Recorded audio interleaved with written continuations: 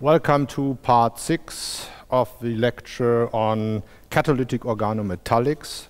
Subject of today are further uh, palladium catalyzed reactions and uh, well let us call it profiling palladium. How does the palladium catalyst behave within the catalytic cycle? We have learned a lot about that already with uh, Heck-type reactions. And we should keep in mind that a palladium-2 intermediate within a, within a catalytic cycle always is fishing for some kind of electron density. We will see that in a couple of more examples. In a Heck reaction, we have seen that an aryl or vinyl halide reacts with an olefin. As a net result, a CC bond is formed and HX is eliminated, well, and bound by the base, which is uh, always present in a Heck reaction. Now, let us assume that we don't have an olefin, but an alkyne.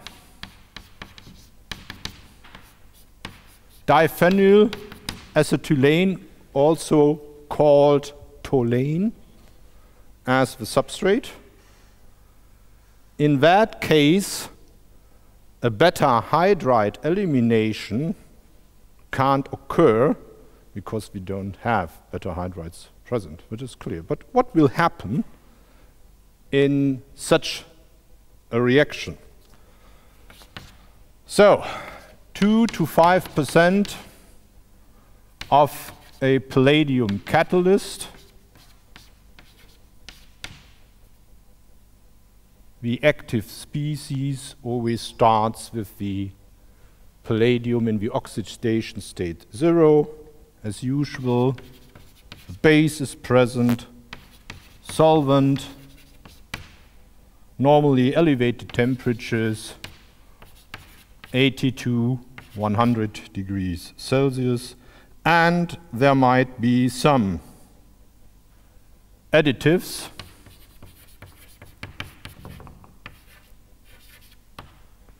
Such as ligands and so on, which uh, trigger the reaction and, uh, well, are there to optimize the reaction conditions. So, for optimized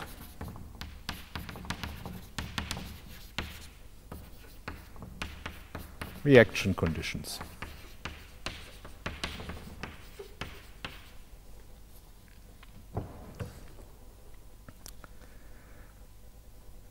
Or what is certainly important for the outcome of such a reaction is the ratio of those two ingredients.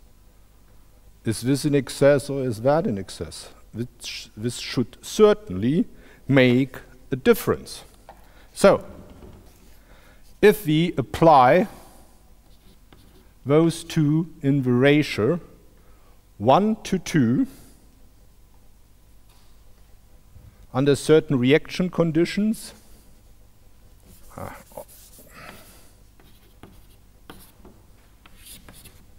Then we can obtain a naphthalene derivative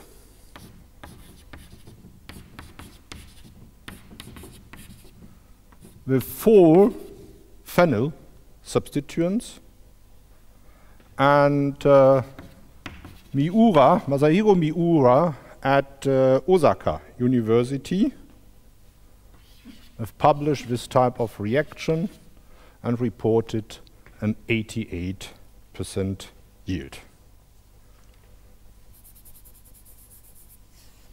The opposite ratio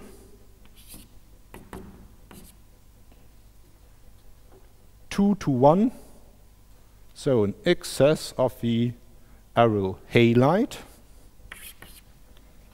In that case, it is possible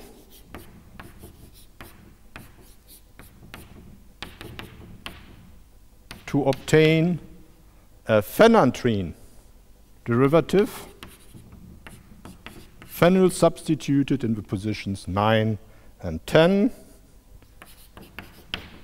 77% yield, published by my group about 20 years ago.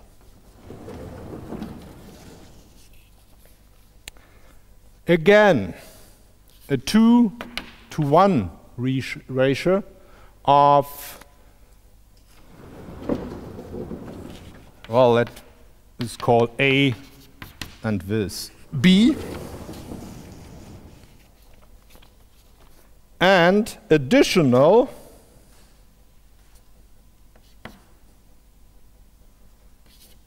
two equivalents of just formic acid, then a completely different outcome will occur.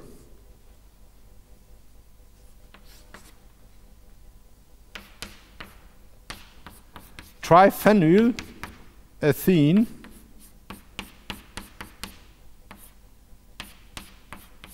is then the result, a hydrogen is introduced here this is uh, a result of a group of Sandro Cacchi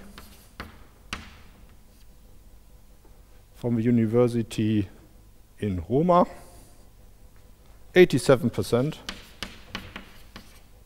yield. Let's call that compound E as product, and then we should see here and D there.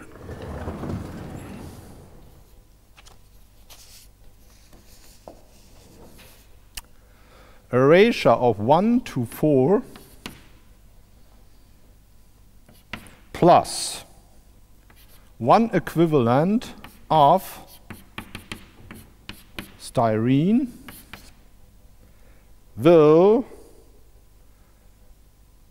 then deliver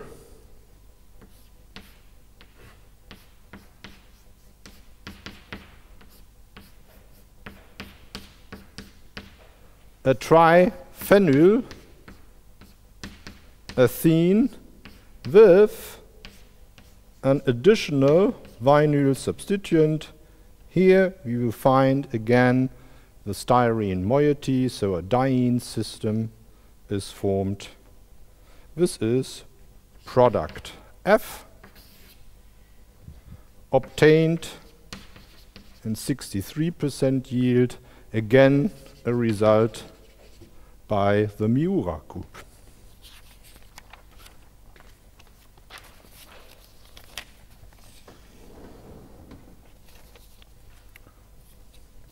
A 2 to 1 ratio of a and B plus three equivalents of a phenyl boronic acid. Then product G will be isolated and G is the tetra phenyl ethene. Everyone should know an alternative, maybe cheaper way to synthesize that, a McMurry reaction of uh, benzophenone, of course. Nevertheless, interesting to know that this uh, kind of reaction is possible. And, uh, well, 92% reported by Richard Larock from Iowa State University and another more exciting result also was reported by Richard Larock's group. Well, should have a look what happens with the one-to-one -one ratio of uh, our substrates and well sodium acetate as a weaker base weaker compared to potassium carbonate carbonate or uh, triethylamine this gives a surprising result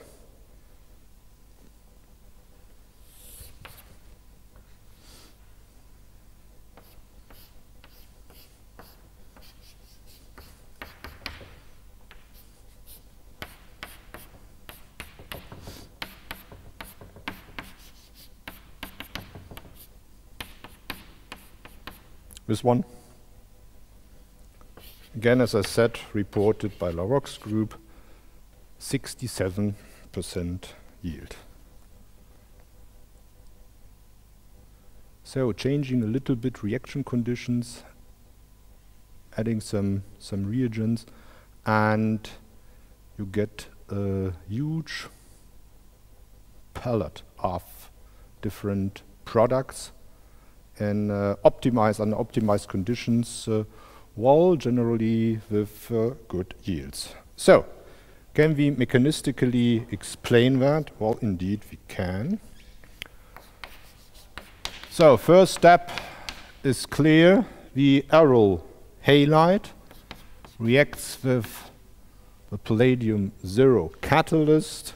Additional ligands are omitted for clarity. An oxidative addition step will take place and from palladium 0 we then get to the palladium plus 2 oxidation state. Palladium 2, as I said, electrophilic, will react with the electron-rich acetylene, the tolane,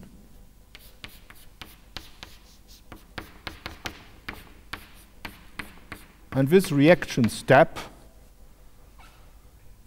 proceeds analogously to the first, to the uh, corresponding reaction step in the Heck reaction. A carbopalladation in a Syn fashion will occur.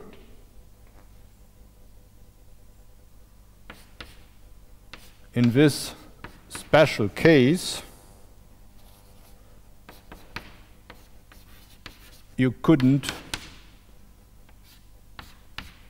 decide is it a Syn or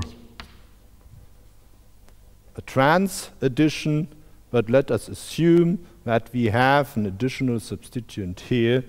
In that case, we would uh, see that it is then located there. Okay. Well, there are also some results, but uh, vinyl palladium species are, are able to react uh, easily in a cis uh, trans uh, isomerization. But generally, at short reaction times, well, it is clear it is a Syn addition process. So, this vinyl palladium halide will react intermolecularly if some electron-rich reagent is presented. So, for instance, if that styrene is present, then a Heck type process will follow carbopalladation and beta hydride elimination. And uh, well, the product would be product F then. Simple to explain. What is more interesting is uh, to think about, well, why did was uh, I think Miura, apply an excess of the alkyne? Well, the diphenyl acetylene is sterically more hindered compared to the styrene and therefore although the alkyne is more electron rich one can assume that the aryl palladium halide this one could somewhat prefer to react with the styrene unless the reaction with the tolane is statistically favored just by an excess of, of uh, tolane present. Okay? So, this is then already a sterically more shielded palladium, shielded by that large substituent, and therefore the steric hindrance or steric influence is even more present at this stage of a catalytic cycle, and therefore this then clearly prefers to react with the styrene rather than with another equivalent of a diphenyl acetylene. Okay? So, F is produced. If instead the uh, boronic acid is present, well, okay, boronic acid reacts with the vinyl palladium, well, um, metal-metal exchange it is. Well, this is uh, uh, some kind of so-called Suzuki coupling reaction.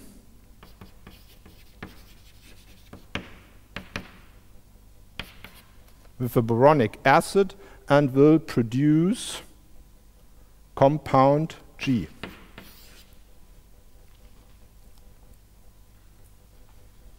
So with a styrene, compound F. Well, and in case of the formic acid, remember we have basic reaction conditions. Triethylamine present or potassium carbonate. Of course, the formic acid is deprotonated and therefore the carboxylate will react with the vinyl palladium halide. So that means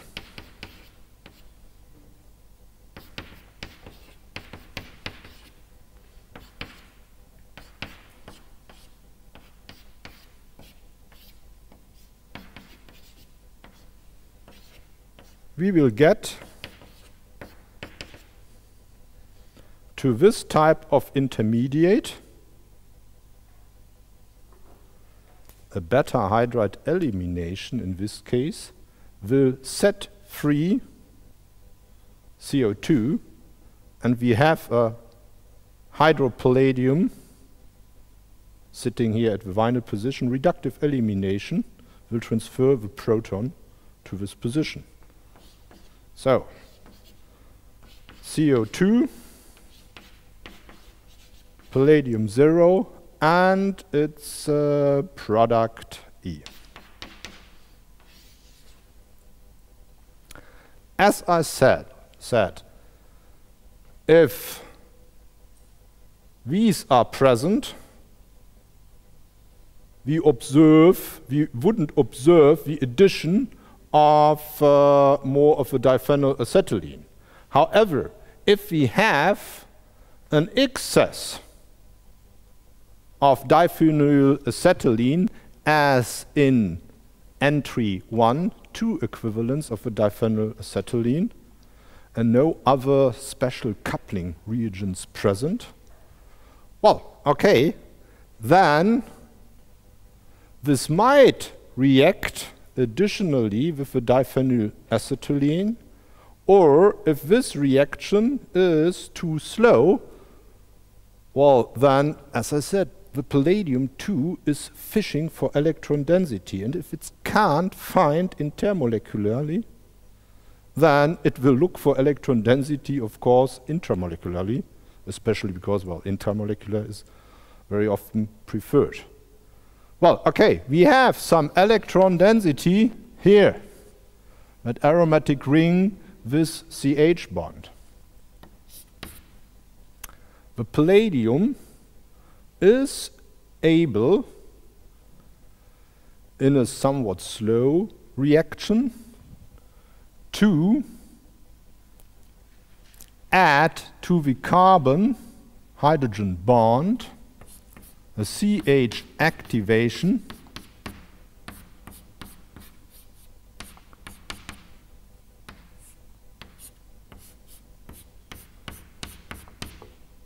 Can occur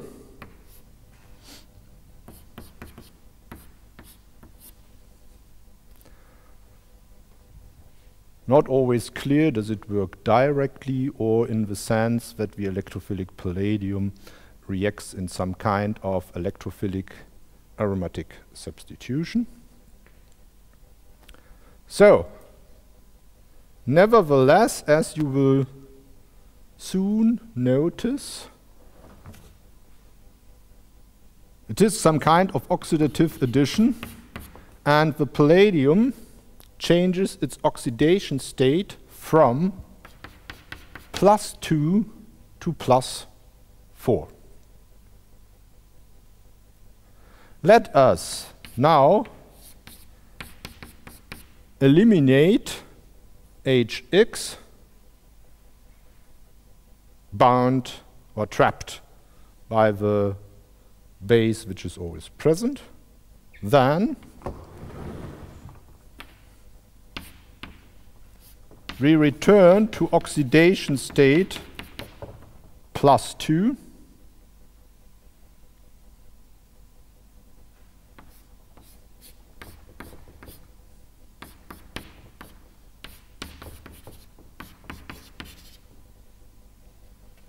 Having that five-membered Pallada cycle.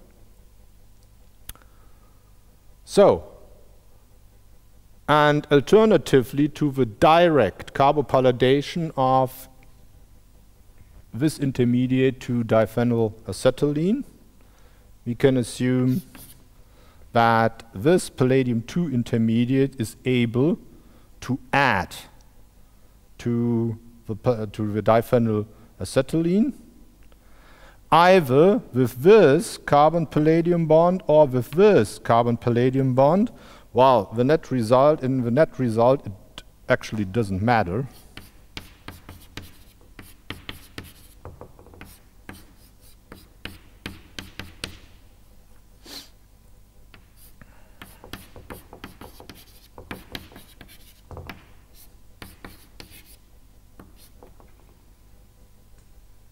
Carbopalladation, we would get to such a seven-membered Palladacycle. And of course, this can then undergo readily a reductive elimination.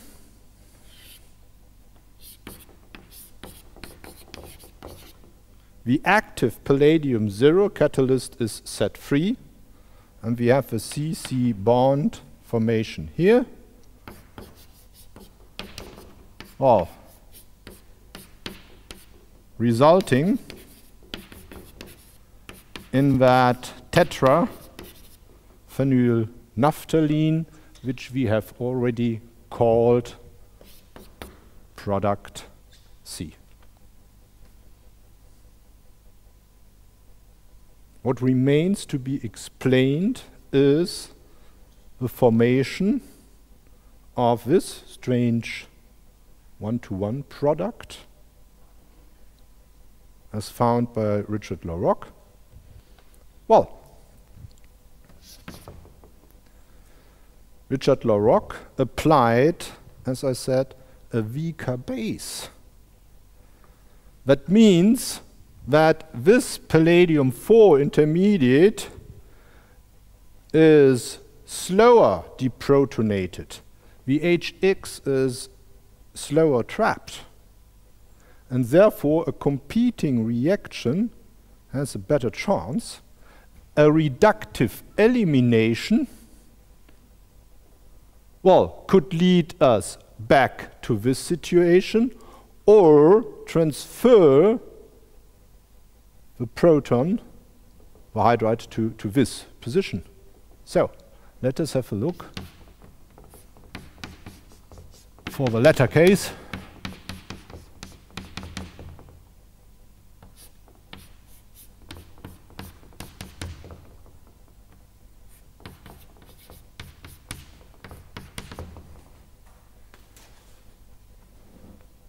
So,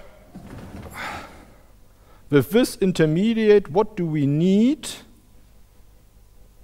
to get to the formation of that product? Rather simple. The palladium halide, again, fishing for electron density, will coordinate here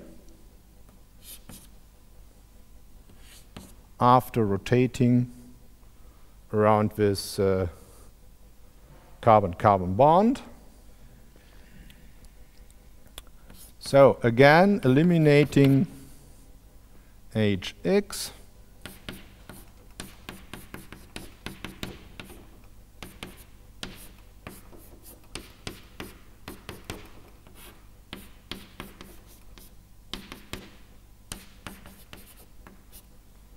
We get to this intermediary six-membered Palladacycle, also in this case, a reductive elimination can occur readily. And uh, product H then is the result of that, well, you can call that a domino process.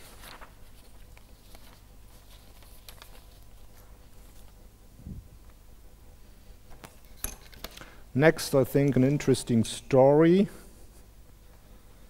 from something we found, well, about 20 years ago when we worked on, on that subject. Remember,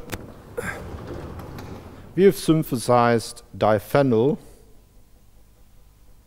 phenanthrene, from diphenyl acetylene and we thought, well, what would happen if we put on more steric hindrance here instead of phenyl groups, anthryl groups? So let's have a look what happened. For understanding the first reaction, I should explain, briefly explain another palladium catalyzed process Sonogashira coupling reaction.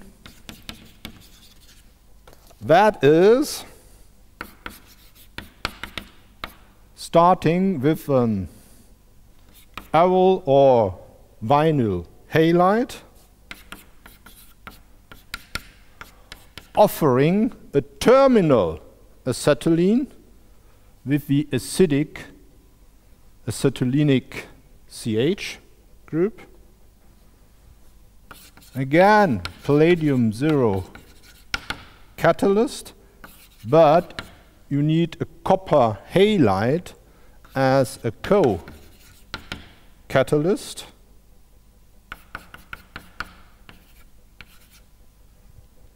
Triethylamine.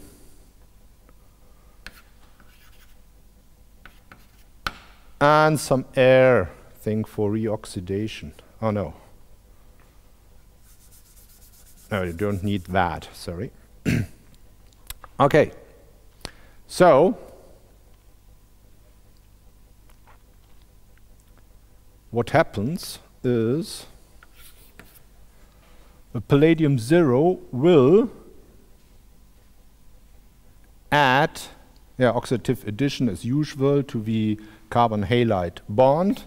We will get the aryl palladium halide. On the other hand, the base will, in equilibrium, deprotonate the terminal acetylene and we will form a cuprate, an organoacetylide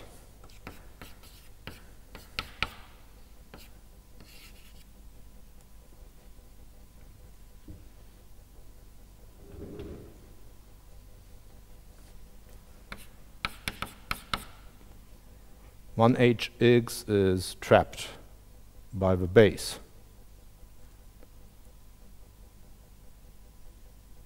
A transmetallation can occur essentially the copper, the palladium exchange their ligands or substituents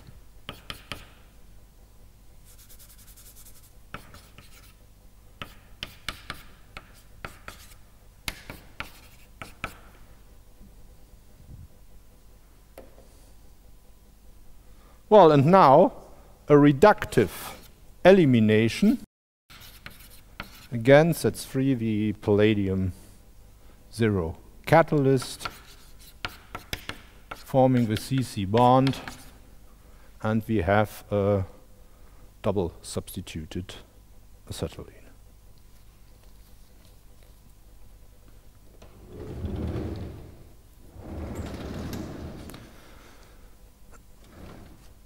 So, co-worker of mine intended to try the Sonogashira coupling reaction with 9-bromo anthracene and as already described in literature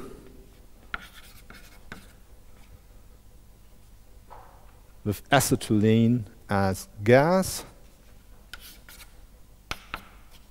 reaction conditions as uh, written up there, outlined up there. What should be formed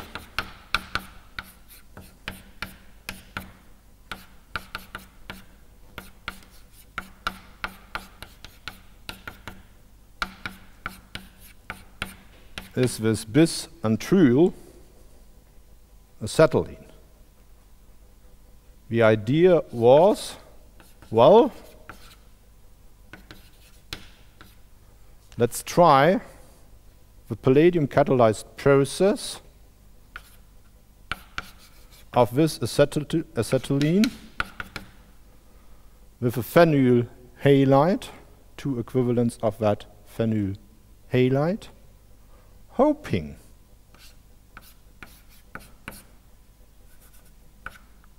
for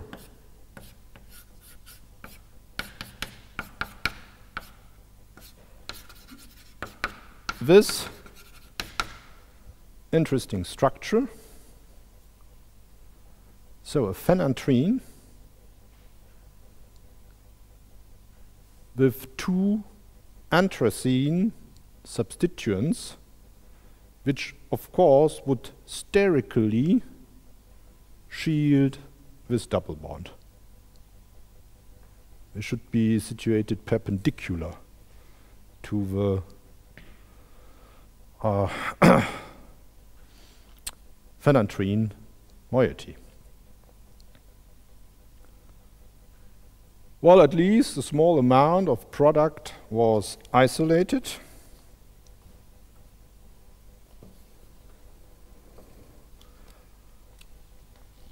But according to the proton NMR,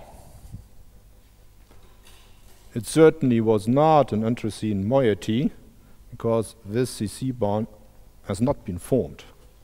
So the proton NMR was in accord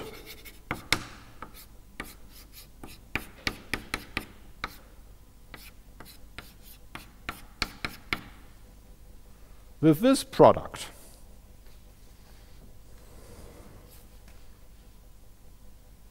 Could there be a mechanistic explanation? Yes, indeed. Because if you, for instance, let just phenyl iodide or yeah, iodobenzene or bromobenzene react uh, under palladium zero catalyzed reaction conditions,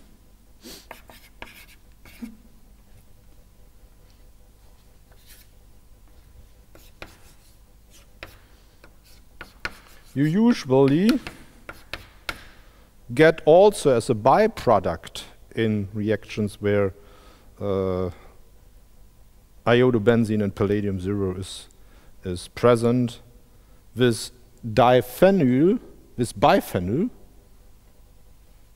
plus, of course, a palladium 2 salt which is normally efficiently reduced, for instance, by the solvent if DMF is present. Reduced again to palladium zero, and so on. So, no problem to assume that a similar process also could connect the phenyl group of a phenyl iodide and a vinyl palladium halide. No problem. So we thought, okay, maybe some steric influence we haven't completely understood. And then we obtained the mass spec telling us that the mass of our product has 24 units more so we have 24 gram per mole as the molecular mass more than anticipated. And now please think about what is the real structure of a product as an exercise. So 24 mass units. How could we get 24 mass units into the molecule? Well, a sodium and a hydrogen? No. Where should it come from?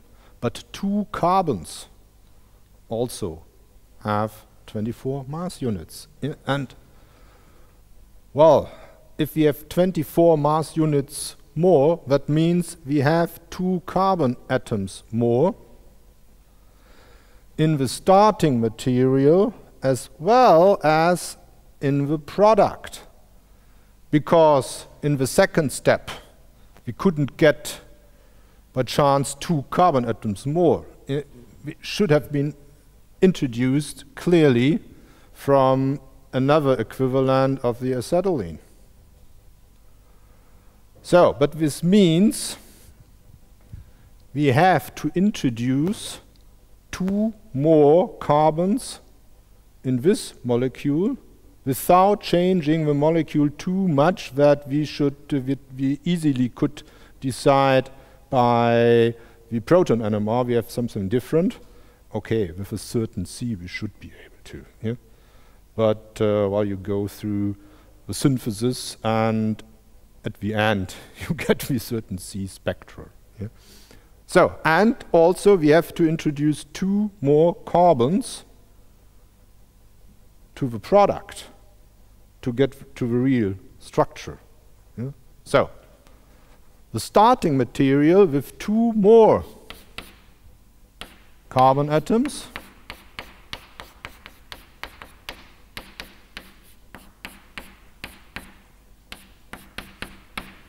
should be this one.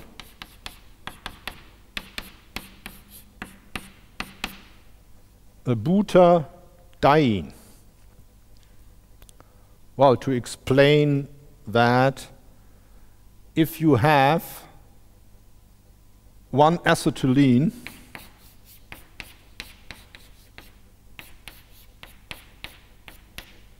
already introduced by the Sonogashira coupling reaction, then under the same reaction conditions, almost the same reaction conditions, palladium zero, copper, salt, but in the presence of air as an additional oxidant. So, the doctoral student was a bit lazy in excluding air in his experiment. Yeah?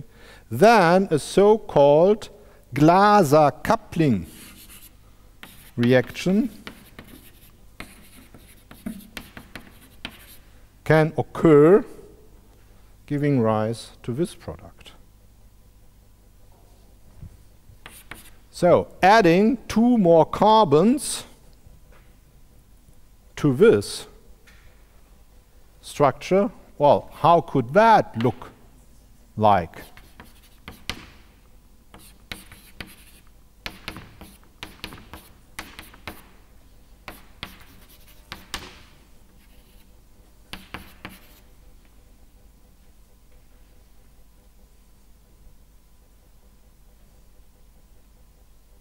So now the explanation, how do we get from here to there?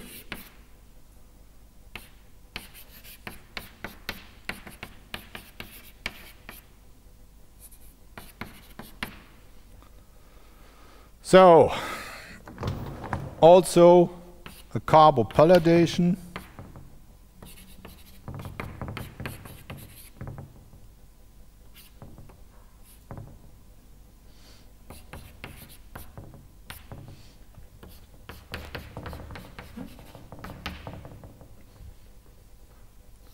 And now this can isomerize forming a double bond here and the palladium there and conjugated, no, not a accumulated system, not conjugated.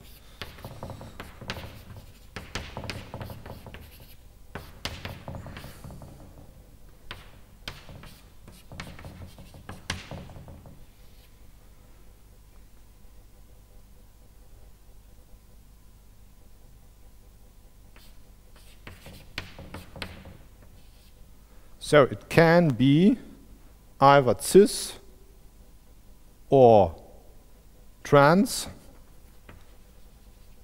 Therefore, I'm drawing that wave here. Um, in a buta triene, you have cis and trans.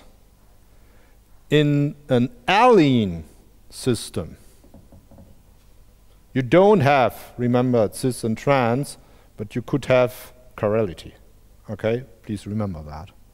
Yeah, well, and then similar as I explained it in uh, in this reaction, and uh, with an additional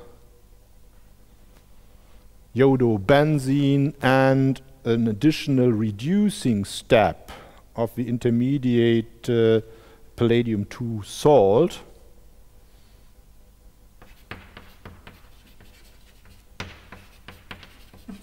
we can get to the final product.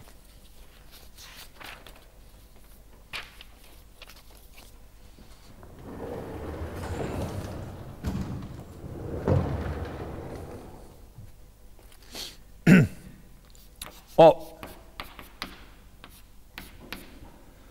we've already seen that uh, if we let an aryl halide react without additional reagents, coupling reagents, then on a palladium catalysis uh, we often get uh, biphenyl products this is called a Ullmann coupling reaction.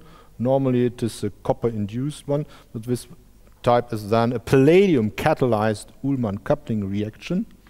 Now to the situation that we have an ortho substituent. Some Ullmann coupling products can occur there, but most interestingly, something else can happen there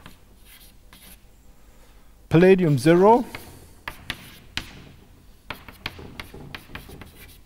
oxidative addition to a palladium 2 intermediate.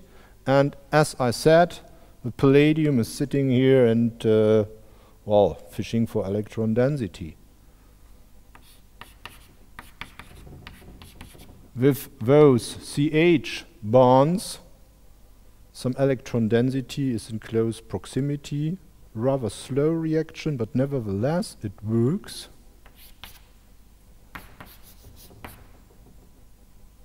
Addition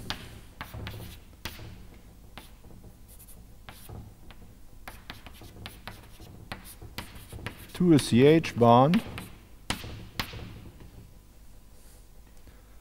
delivers a palladium 4 intermediate and HX trapped by the base.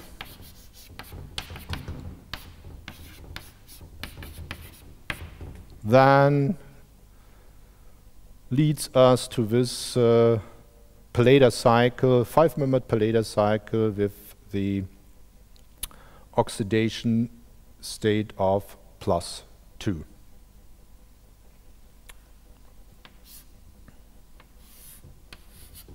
Again, this is now waiting for some electron density passing by, which could connect to. Yeah? It could be the second equivalent of the starting material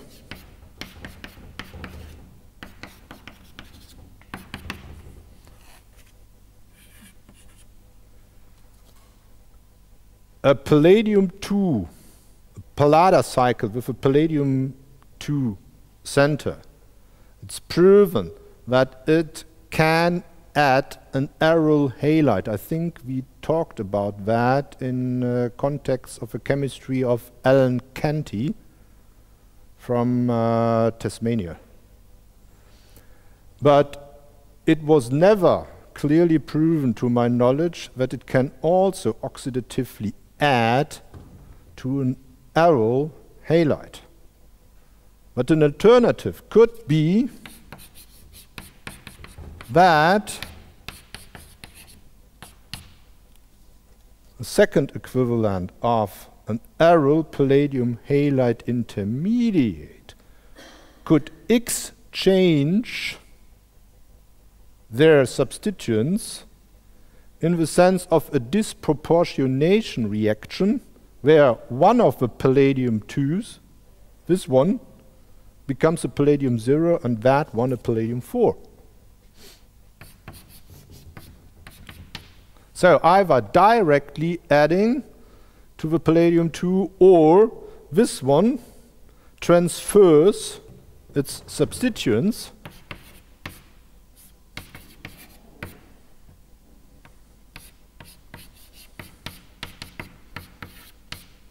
Clearly we will have such a palladium 4 intermediate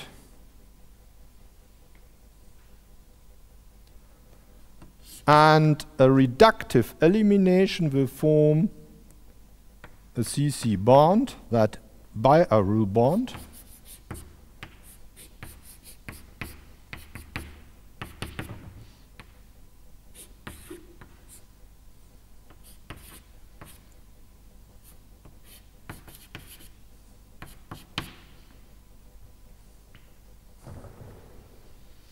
So the palladium, fishing for electron density, next position which is accessible, well, could be this one or that. If it reacts here, would be a seven-membered palladacycle formed. A five-membered palladacycle is clearly preferred.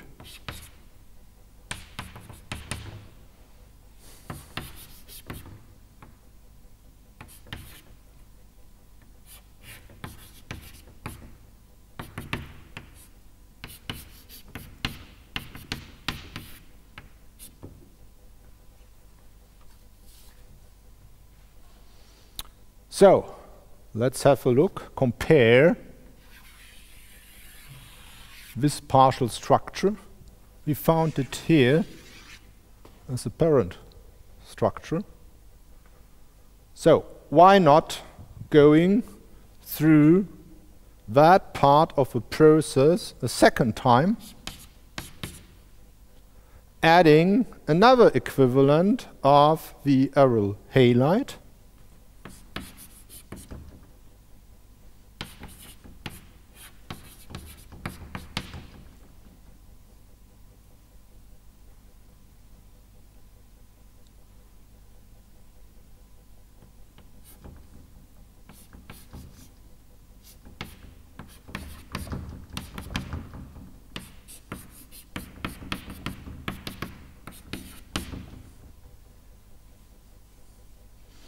So, and again, the palladium fishing for electron density.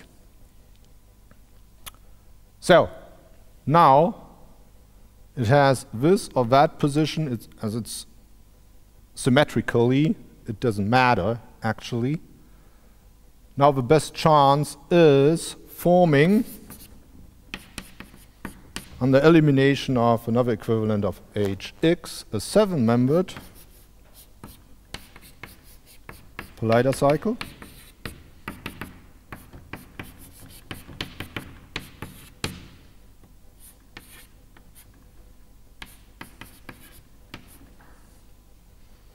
which then easily eliminates the palladium zero, forming the CC bond.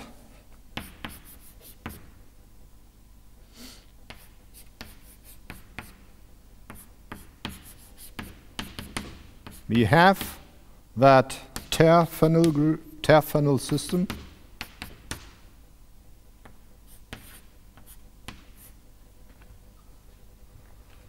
with this additional bridge isolated in better 80% yield.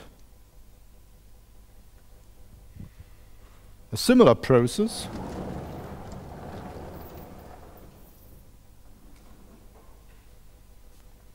was tested. Well, just uh, trying uh, has that oxygen a decisive influence on that CH activation step? Well, okay.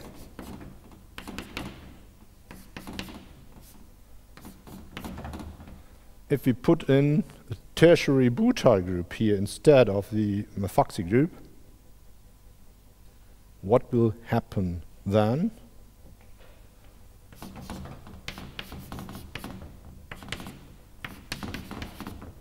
Again,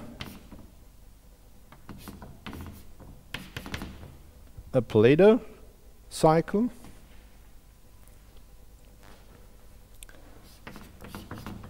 Following this general line and adding another equivalent of the aryl halide,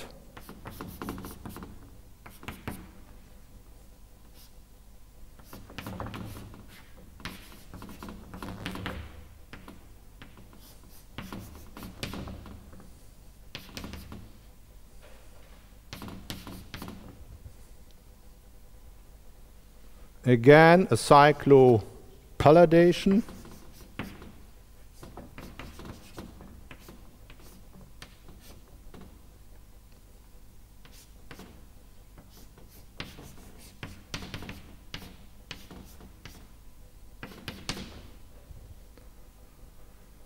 So, in a minor part of this intermediate, as it turned out, follows that complete process with maybe 15% yield, having a tertiary butyl group here, having a tertiary butyl group there, and having a dimethyl methylene group instead of an oxygen there. Yeah? But there is a slight difference to the situation before. With this dimethylmethylene group and with this tertiary butyl phenyl group, some steric strain has built up. And well, the steric strain might be minimized if the palladium can leave that molecule. And leaving that molecule is possible by a reductive elimination. Well, we build up from a five-membered palladacycle a strained four-membered carbo cycle. Nevertheless, this additional steric strain is sufficient to cause that uh, reductive elimination under CC bond formation here is the predominant reaction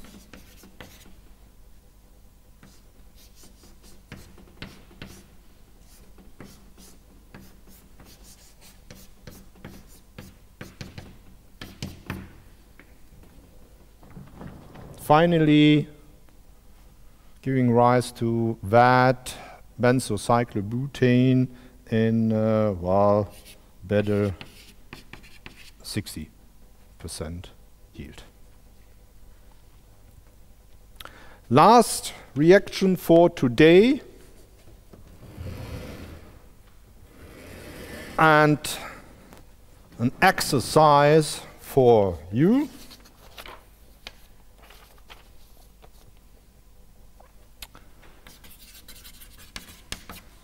Barry Martin Trost, his group from Stanford University, uh, published a very nice domino process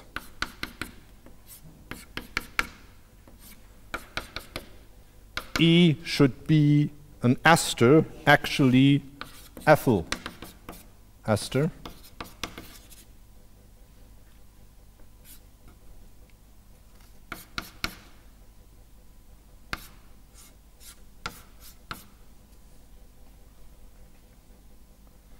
And this malonate unit, well, connects two side chains.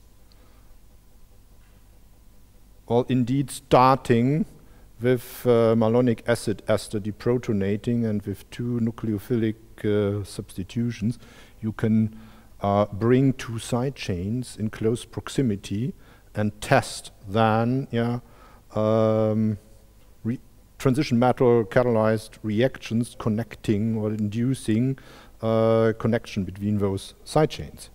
This is the general idea.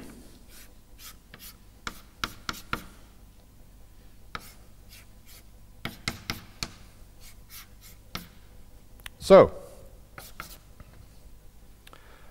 with tetrakis, triphenylphosphine, palladium as the catalyst, 76% yield of a product was obtained. It's now your turn to figure out what do you think was the product. And uh, well, this is an olefin, not a tertiary butyl group.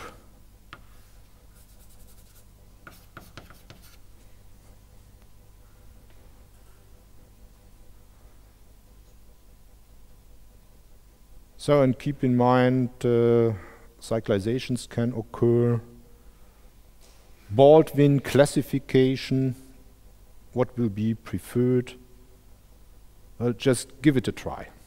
So first step, as usual, oxidative addition to the carbon iodide bond, while a vinyl palladium halide.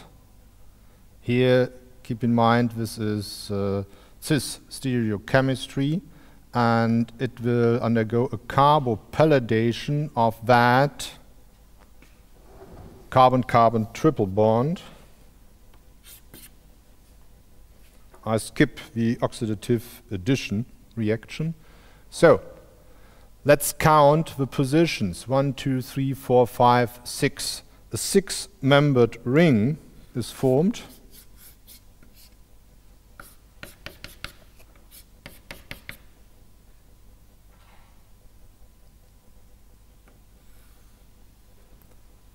There is this double bond, and now an exocyclic double bond is formed from that triple bond.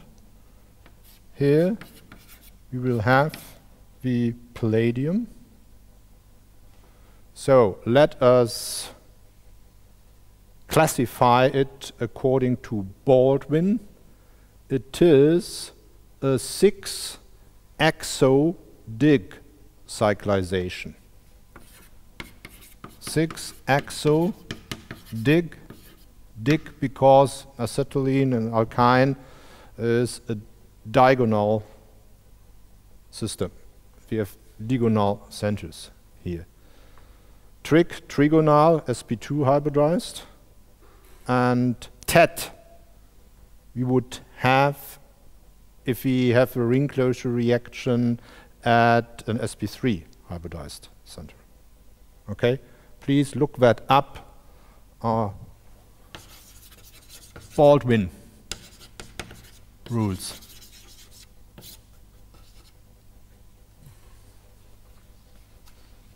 So, what else is now present?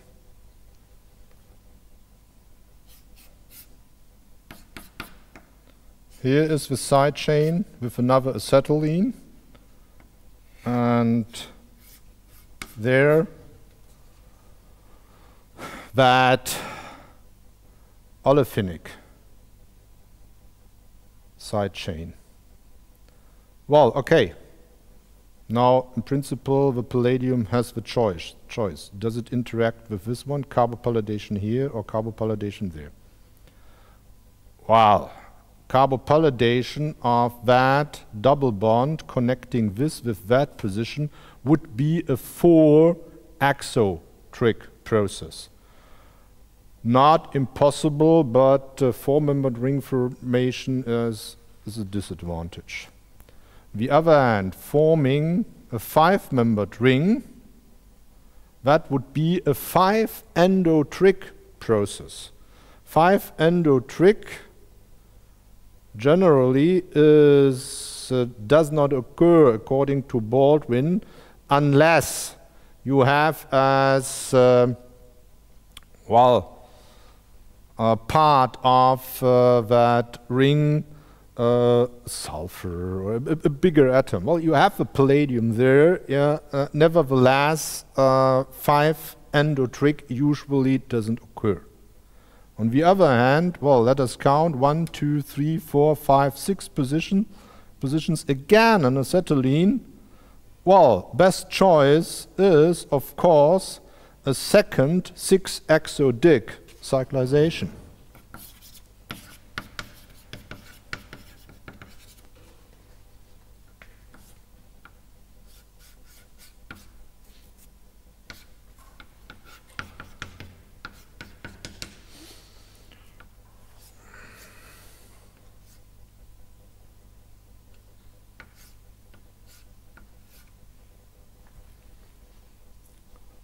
So, one, two, CH2 groups. Again, syn carbopalladation.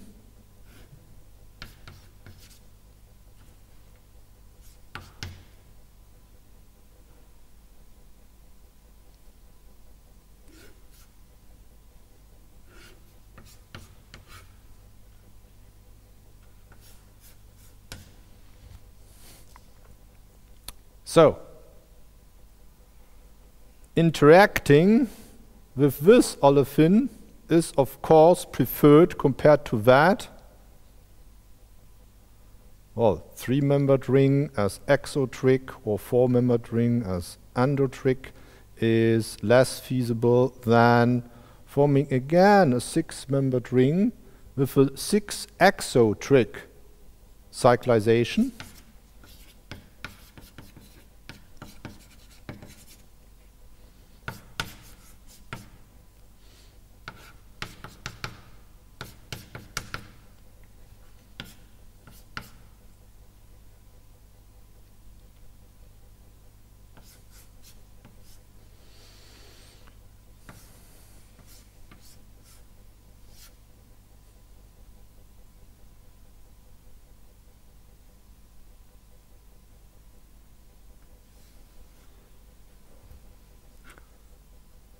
There was the palladium.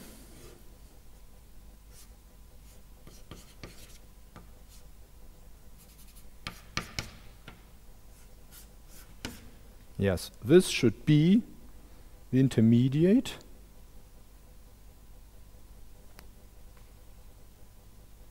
Now, the carbopalladation of that olefin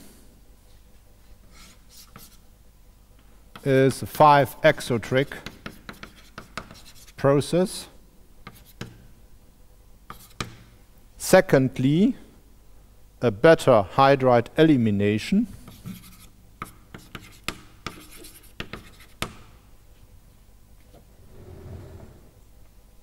will deliver the final product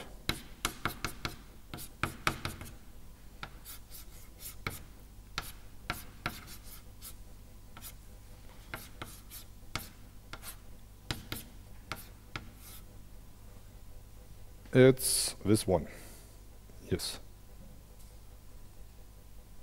This very special, fascinating reaction became renowned as Barry Trost's palladium zipper reaction. And it's clear where the name comes from.